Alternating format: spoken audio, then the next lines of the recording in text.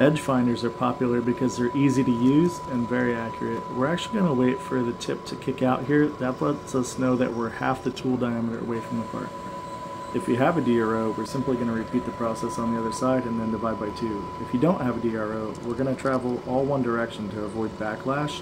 So you find the part's diameter, divide it by 2, and then half the tool diameter. Here we have an indicator mounted in the spindle. This is actually the most accurate way I've ever found for finding the true center of a part.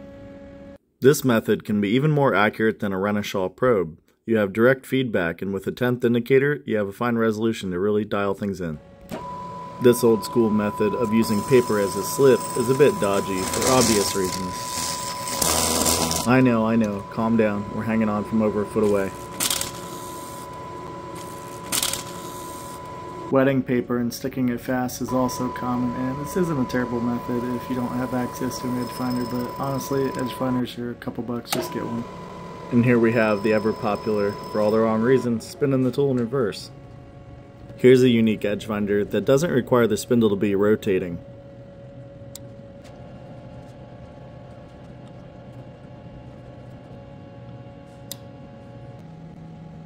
And the always popular method of balancing a scale until it's parallel with your table.